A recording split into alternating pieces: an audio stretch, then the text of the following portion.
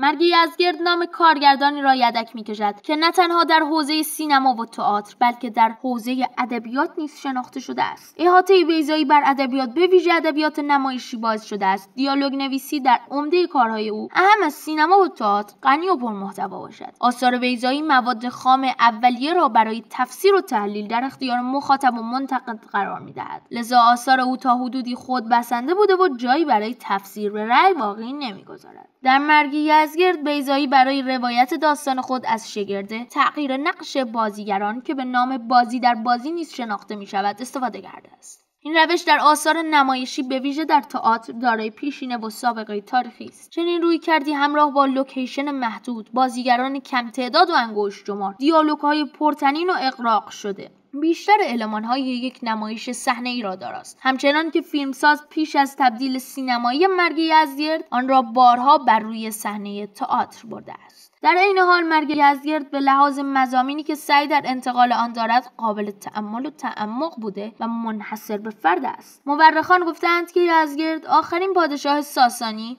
توسط آسیابانی در مرو کشته شده است. عمده فیلم در منزل آسیابان میگذرد. اعوان و انصار یزگرد جمع شدند و حکایت مرگ او را با سه روایت متفاوت از زبان آسیابان دختر و همسرش میشنوند. هر کدام از این سه نفر روایت متفاوت و متناقضی را ارائه می کند روایت هایی که در ضمن تاباندن پرتوهایی از نور بر واقعیت بخش های دیگری را تیره و تار و کدر می کنند درست در همان لحظه که تصور می‌کنیم واقعیت را به چنگ آورده ایم از دستمان میگریزد و بدین ترتیب بیزایی راستنمایی در روایت و بیشتر از آن در کل تاریخ را زیر سوال می‌برد چنین نگرشی بر تاریخ مقایر با نگرشی است که معتقد است صحت و سقم وقایع تاریخی در گذر زمان قابل کشف است بیزایی زمان را به مانند قباری بر روی تاریخ در نظر می‌گیرد که تاریخ را ناخواناتر و قضاوت تاریخی را غیر ممکن تر می کند. با تماشای مرگ یزدیرد این فرض در ذهن مخاطب قوت می گیرد. واقعیت